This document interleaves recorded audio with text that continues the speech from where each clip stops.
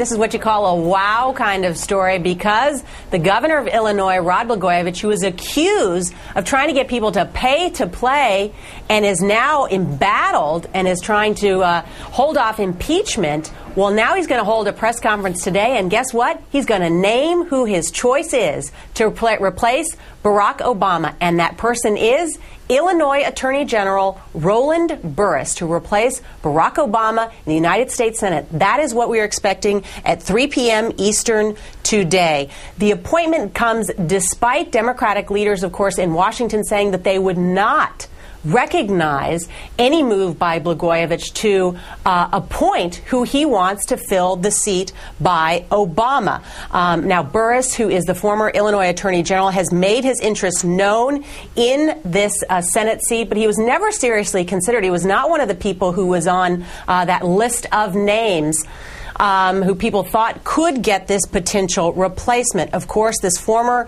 Illinois Attorney General, Roland Burris, is an African American, and he is the name that we are hearing that the governor of Illinois, Rod Blagojevich, will announce is his choice to replace Barack Obama in the U.S. Senate. We've got Lynn Sweet, of course, who is the Washington bureau chief for the Chicago Sun-Times on the phone. And Lynn, first, your reaction.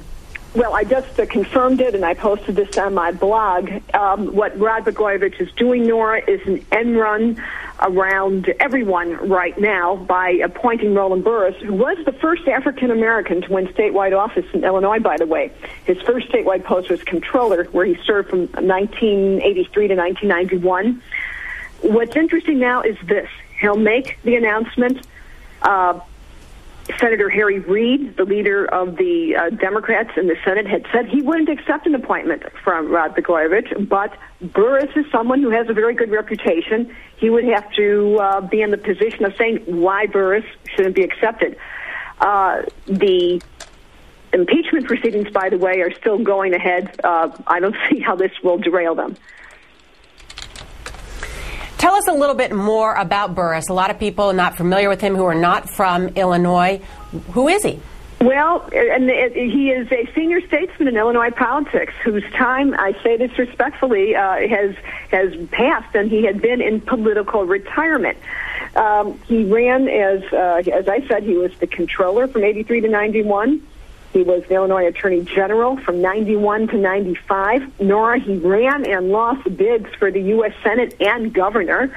Uh, he tried to uh, have a statewide, uh, you know, campaign that he could not pull off, and he thought he had a base in that two bases that he has in Illinois. Uh, he is from Southern Illinois, and he, um, you know, is, is, had long been a major African American office. Uh, he mm-hmm. is a real nice is guy. Is he close with Barack Obama? Do you know, is he, he close not, with Barack Obama no, at all?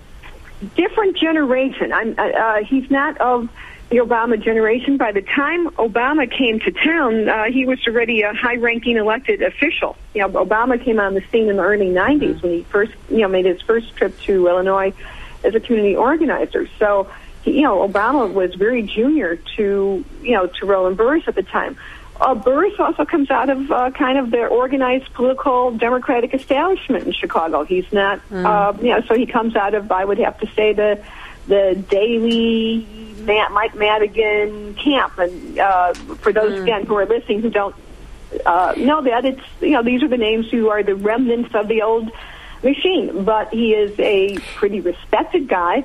But the question would be, will he take this seat and intend to run for it in 2010?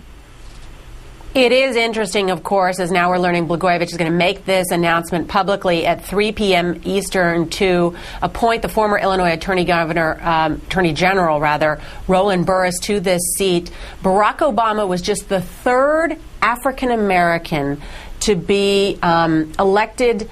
Uh, and to serve in the United States Senate since Reconstruction. So Roland Burris would be the fourth um, and, and that's and, very few African Americans who've served in the U.S. Senate. And go ahead, Lynn. Mm-hmm. And may I point out that out of those four, three of them then will have been from Illinois Carol Moseley Braun, Barack Obama, and now Roland right. Burris. Absolutely. All right, Lynn Sweet, we're going to have more on this story, and of course, we are going to cover more of it live here on MSNBC. Big news today. Appears the governor of Illinois is going to make his appointment to fill Barack Obama's seat. It is another African American, one who was not on the short list before. What does it all mean? We'll have more straight ahead here on MSNBC, the place for politics.